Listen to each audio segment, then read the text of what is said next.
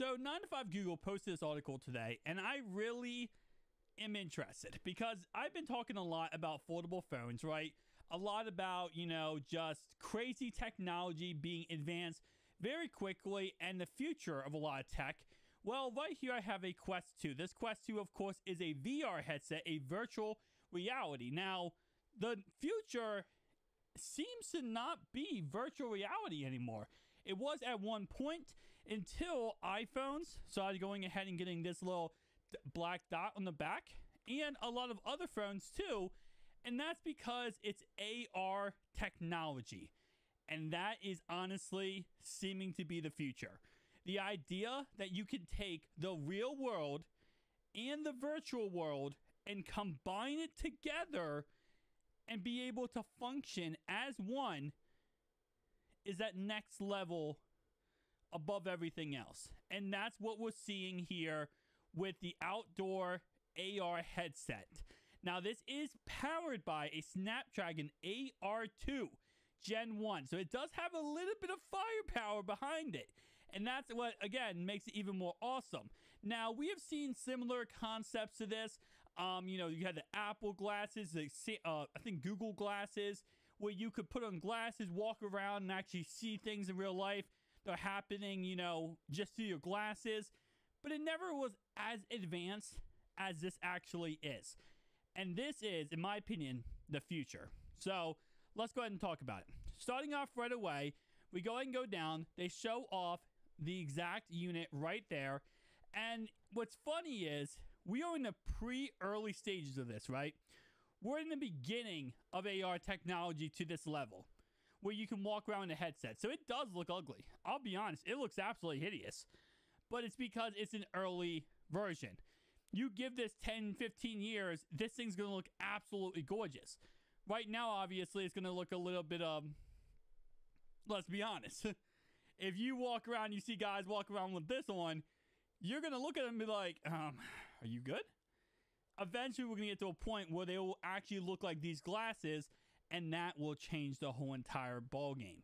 And you guys can see, it might look weird to us, them walking around, but what they're seeing is not what we're seeing. Let's see what they're seeing. So if we go ahead and scroll down here, this is what they're seeing. So imagine being on a public sidewalk with these glasses on, and after you know you get made fun of a thousand times, um, you just look forward and you see play and settings, and you can click on play and start playing a game in real life, in real world, through these headsets. Now, to think about the amount of people who are going to absolutely get destroyed in public for doing this, and I'm not talking about look wise, I'm talking about Pokemon Go. If you guys remember Pokemon Go, the big issue with that was people walking into traffic. People were staring at their phones, not paying attention, and walking into buildings, walking into areas they weren't supposed to. It was a mess. This is going to be very similar when it first starts off. This is why I've always been interested in AR technology, and it is the future, but it really does not help that you're putting people in real life with things, with obviously, you know, gaming, virtual reality. It's to be interesting. So, for example, here you go. You have a person who is playing a game, and I'm to guess you move your head or a controller to actually, you know, orient your character, but they're playing a game in real life. So, again, these are very small examples. Imagine the scope of the future when you add in more things than just what you see here.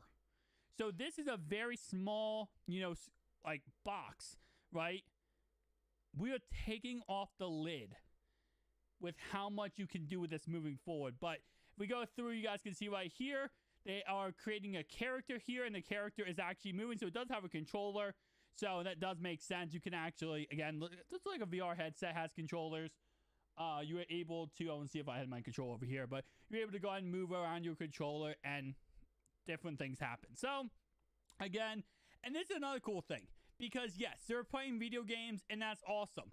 But this also puts in perspective a lot of other things. So, for example, let's say, you know, you are in a different country and they do not speak the same language you speak.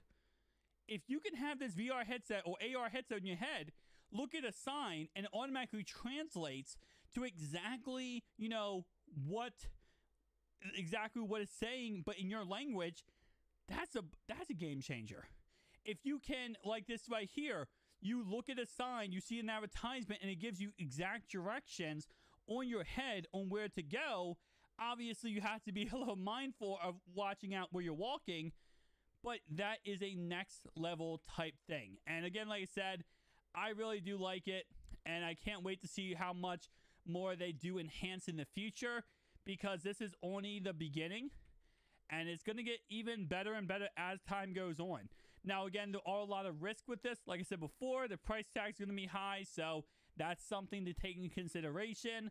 Um, but you know, it's a step up from virtual reality. In virtual reality, with the whole meta stuff, you know, we're literally creating our own universe. This is taking that created universe and putting it into our universe. The amount of the amount of stuff that's going to come in the future when it comes to this kind of is crazy. Guys, tell me down below your thoughts and opinions. I'm definitely interested in hearing it because would you walk around rocking these glasses? I, I don't know. I don't know if I would. I don't know. I'm no I'm not sure if I would or not. It would be one of those things where it's like I don't know. It's not even a look thing. It's also like being distracted and actually like bumping into someone or something. But definitely tell me down below your thoughts, opinions. I'll see you guys in the next one. Peace out.